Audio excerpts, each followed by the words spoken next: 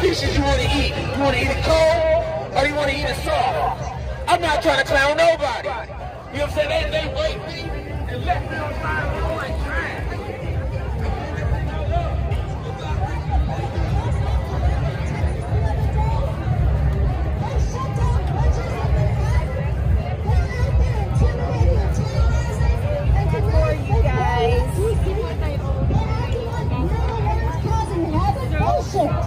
Donald Trump and his regime is terrorizing the globe.